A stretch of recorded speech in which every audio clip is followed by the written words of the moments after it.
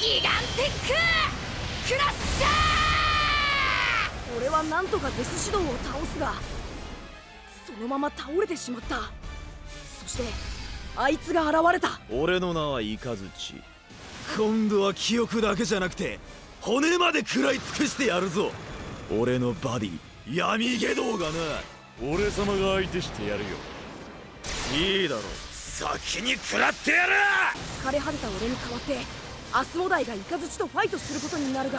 なるかねアスモダイはイカズチに敗れ闇下道に食われてしまった。だがそこに君の相手はこの僕だ。タスク先輩！帰ってきたタスク先輩がイカズチとファイトすることに。百鬼を食らい権限せよ！大暴量闇ゲドスターパルサーか。そして天野鈴先輩の口から。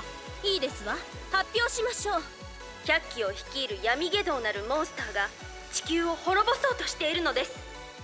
この危機を回避するためには核王と呼ばれる8人の偉大なモンスターたちの力を借りねばなりません。闇下道を倒すには8人の核王の力が必要だ。